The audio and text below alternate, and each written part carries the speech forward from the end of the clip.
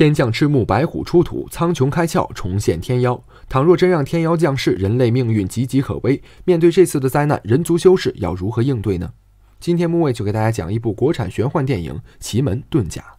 小刀是衙门里新来的捕快，因为太爱表现，被领导排挤。这天，小刀照常在外寻找领导虚构的罪犯，没想到还真被他碰到一个长得像的。小刀赶紧追了上去，却看到客栈里疑犯被鱼妖吃掉的一幕。在小刀正要出手时，旁边一丑女跳出来与妖怪打斗，却不慎让妖怪钻空逃走。小刀在后面紧追不舍，到一家青楼时被一个道士模样的人缠住，小刀一把抓向道士的脸，却撕下一张面具，道士露出一张清秀的女生模样，这人就是前面假扮丑女的除魔人蜻蜓。两人解除误会，上了二楼花魁房间，一番折腾后，终于抓住了鱼妖。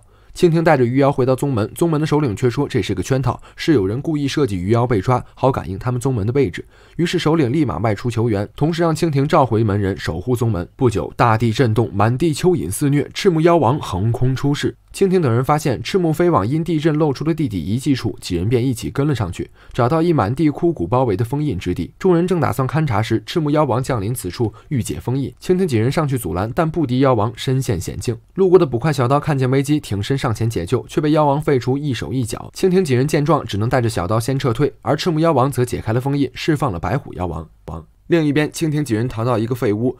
一直在外寻找下任掌门的宗门大师兄带着一女子寻了过来。蜻蜓等人会合后，设法找到了外出求援的首领留下的消息。原来首领在洛阳等待与众人会合。蜻蜓数人立刻上路，在路上他们发现大师兄带回来的这个女子是妖族，他还让小刀为救蜻蜓的断肢重生了出来。不过这个治愈的能力会让女子自己受重伤。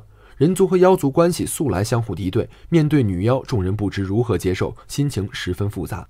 来到一家客栈，正在歇息的众人突然遇到袭击。蜻蜓为保护大家，上前与敌人对战，却不小心让手中了毒。危急之时，小刀挺身，他意外发现重生断肢后的自己居然有了法力。小刀知道敌方是妖族的手下，他们知道这妖女的能力，要来抢人。于是他让蜻蜓等人带走女妖，自己留下对敌。好在这时首领骑马车赶了过来，带着蜻蜓和女妖等人离开。到了一片森林中，首领说要杀女妖，在蜻蜓的试探下，他们发现这个首领是假的。被识破的敌人就要亲自下手杀女妖，真正的首领及时出现，制止了敌人。正当两人打得火热，远处埋伏的敌人发动了偷袭，蜻蜓等人又陷入了危险之中。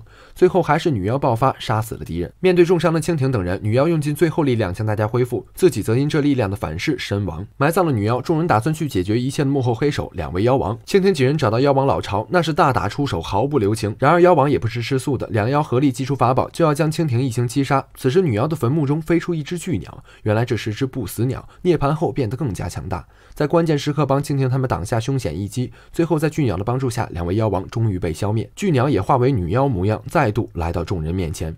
整部影片在剧情方面略显不足，不过能在吐槽中排解心中的郁闷，也是不错的。木卫说电影，每天陪伴你，我是木卫，咱们下期再见。